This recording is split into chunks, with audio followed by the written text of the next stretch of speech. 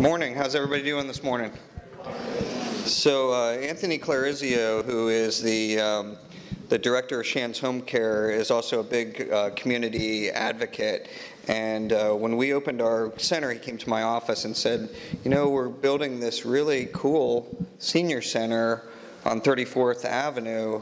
And I said, "Boy, that's that's really far." up there. You know, got, got to turn up 34th and go up the street. He said, it's going to be this huge great center, and you guys should have the programs out there for the patients and for the families. And so we came out and took a look at it, and this is a recently opened facility. And, and Anthony raised $5 million in this community and really did an amazing job. And I think this is a beautiful facility. And so we are uh, very happy to try to participate with bringing educational programs uh, to the community, to the North uh, Central Florida community, to the Parkinson patients and to movement disorders patients, and just general uh, informational programs and connecting scientists to the community. And so I think this is a great thing. And so I just want to acknowledge Anthony and, and all that he's done for this, for this community.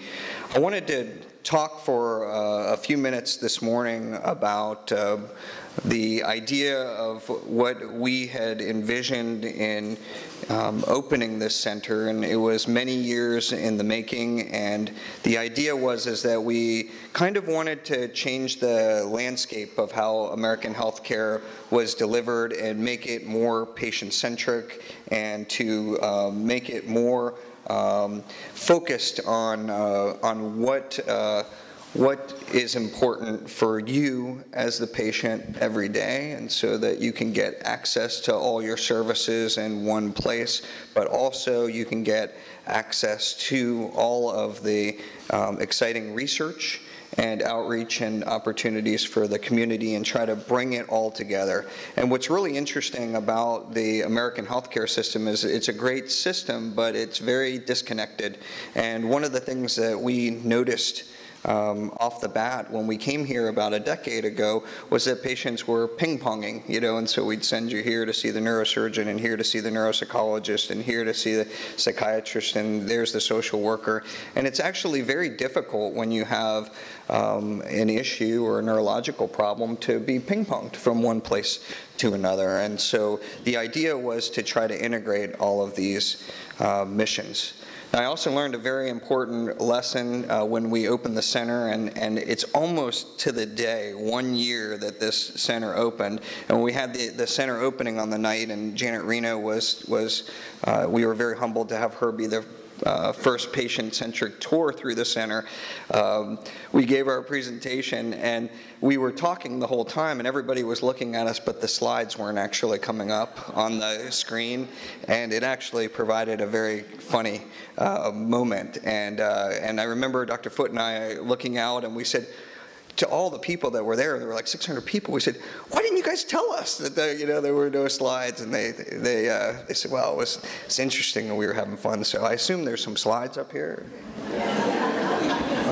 okay, I kind of like to check that uh, nowadays. Um, so this is the center. It is on uh, actually on 34th Street. So it's interesting. From the senior center, it's a, you know a 20-minute hop, and we're on the same street. It is a long drive with many traffic lights, uh, but, uh, but it's right on the edge of campus and it is located right across the street from the University of Florida Hilton Hotel. And the idea is, is for complete patient-centric care that patients that need to travel can stay at the hotel. You can log onto the website. They give you a nice, you know, like $100 rate or something to stay in the hotel that night. And we actually have patients that come from overseas and long distances to see us, and this is a very, a very good thing. So there are potential advantages to this type of care system. Um, interdisciplinary care we believe is the best and safest possible care for the patients and so this isn't just you see a patient and you're done or uh, multidisciplinary care where you see a patient and you write your consult and at some point the doctor might get a letter and read this and say oh that's interesting I'm glad that you saw this patient. This is what's called interdisciplinary care. It's the highest level of care. It's where all the practitioners are in the same place and actually talking behind your back, sometimes in front of you. Highest level of care. Now, neurologic disease patients often have uh, difficulty traveling site to site, so that's a potential um, uh, advantage to this. It facilitates discussion between different members of the team in real time, and it speeds the response on important medical issues. So if you need to get something done, you can get it done, you know, right away. You've got your facilities, you've got your imaging, you've got your swallowing, whatever needs to be done can get done. Now, preventative medicine reduces the cost of health care to society. So ultimately, this idea of you checking in with therapists and getting the right plans and everything should reduce falls, should reduce pneumonia, should reduce the burden of the things that happen to us just from aging. And it facilitates best practices. And then you have access. And I remember when my dad got sick and we went around the country looking for places for him to get his treatment for his cancer. And you come in and, and you want to be sure that you're in a place that you can see the whole menu of options, but get your care, but also if there's something exciting, a new vaccine, a new chemo or something, that it's there for you. And so we want to create that type of environment. This is the sign and the opening. And just to run you through this, how it works, it's very simple. Uh, patients come into the clinic, you come off the elevators on the fourth floor. There's one check-in form for all specialties. So you don't keep filling out the form over and over to see each uh, specialty. As soon as you come in, you walk on this uh, gait imbalance meter so we can have the researchers, Dr. Hass and colleagues, and Dr. Vaillancourt and Dr. Christou and all those really smart guys that interface with our really smart therapists, Meredith DeFranco and Shankar and, and Lisa, and together they can begin to look at this data as it comes off of the gate right on each um, iteration and look at your balance and have you stand on the balance meter and have you cough and have Michelle Troche and Chris Sapienza and Jay Rosenbek look at that and hopefully we'll be able to develop plans to improve your walking, reduce falling, and reduce aspiration. And so that's one of the goals of the center and so they come up with all sorts of cool looking things that are way too sophisticated for me to understand. Um, there's a really neat uh, state-of-the-art uh, waiting area. This was designed by the um, Emmy-winning uh, guy who scores symphonies, who's in the Digital Worlds Institute, who's one of our faculty members, James Oliverio. So when he's not scoring symphonies for Wynton Marsalis, he's designing your waiting room, and it has this very nice uh, display that uh, that courses across the screen, and we're trying to make it less of a clinic feel. And he also helped us to design this national park style introduction to the center. And so when you go to a national park, you watch the movie, right? It tells you everything that's going to happen to you. And then when it happens to you, you say, oh, I know that. Oh, that's where that's supposed to be. And so he explains everything. But this also, as soon as you watch this little video that's also on the website, you can sign a consent and be part of the research process. So all your data goes into this huge database. It's one of the largest databases for movement disorders in the country. And it can help us, it can help other researchers. And we try to interface with as many people as will listen to us and work with us. All the specialties are in one location and it's completely patient centric. So when we had our fights, it took us three years with the architect to design this. The patients got the windows. And so there's very few inside cabins here. And so you get to look out and it's a, it should be a very uh, good experience uh, for you. Even the corner offices, Dr. Foote calls them the CEO offices, belong to the, uh, to the patients. The patients also um, contributed all the art that's in the center, and it's quite a nice collection. Um, this is uh, really interesting because when the National Institutes of Health asks for Parkinson proposals, they put out what's called an RFA, a request for applications. We put out an RFA and have a continuous RFA called a request for art. And so Jill Sonke Henderson, who runs the Dance for Life program, which by the way will have a program up in McGuire at 4 p.m. today. They're a beautiful dance company um, on campus and they do dancing for Parkinson program.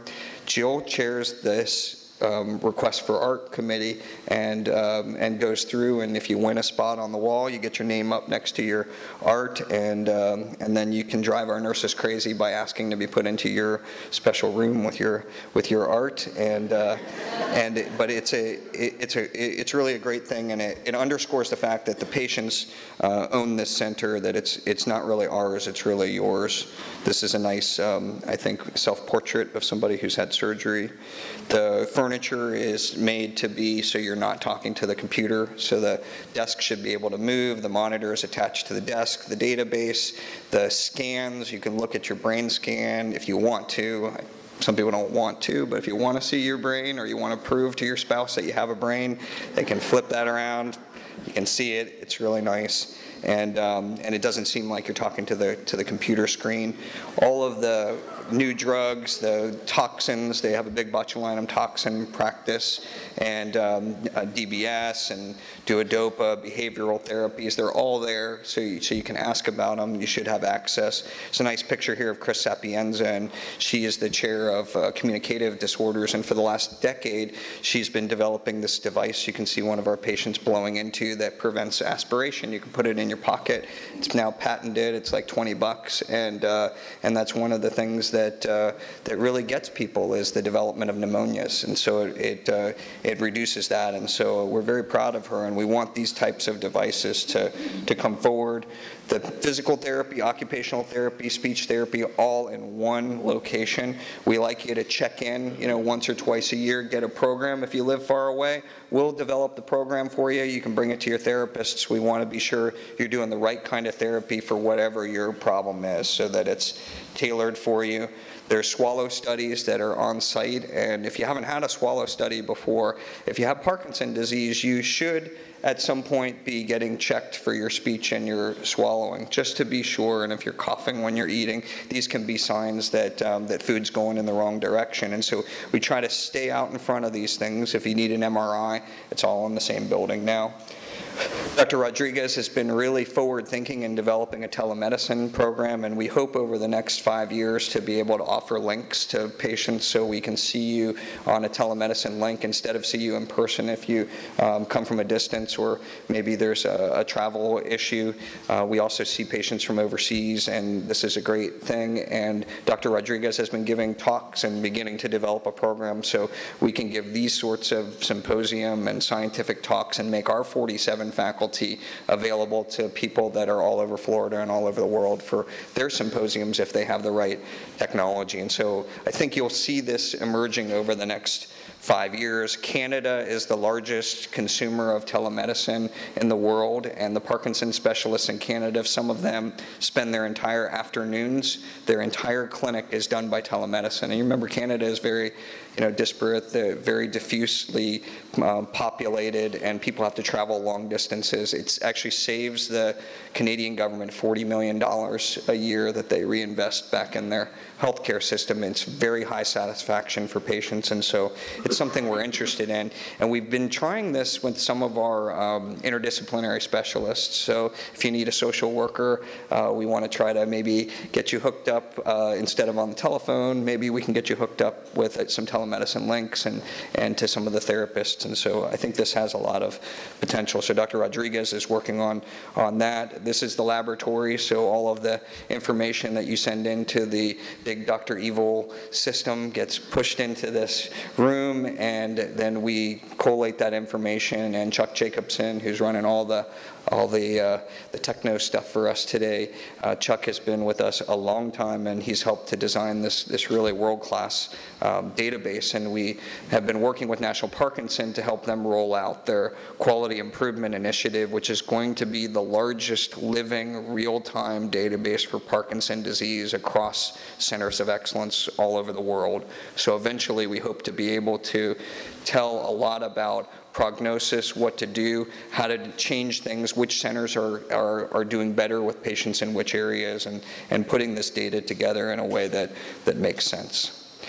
The fellows are all here that are training and, and they're in blue shirts and, uh, and as well as our clinical trial staff and our other staff at the center. And we train fellows from all over the world and we want them to go back and to open uh, centers of excellence and to be excellent. We've partnered with the Smallwood Foundation uh, who provides funding for this effort and the idea is to export excellence and to have centers like this set up in every community as far as we can can we can reach because it's really important, uh, especially with the with the numbers of patients that are coming down with Parkinson disease and related disorders over the next decade, this is really becoming an epidemic. And so the idea of training and addressing the critical shortage is, is important. And finally, the clinical trials. Uh, coordination center is on site, so Stacy Merritt and her um, staff are here and waving you down in the parking lot, making sure you park in the right place. But they will also be sure that if you want to be involved in a clinical trial, that you understand what that means and also what trials are available and what might be appropriate for you or what might be coming uh, forward. And so we encourage you to interface with the staff, and and um, and this could be an opportunity for you during your your care.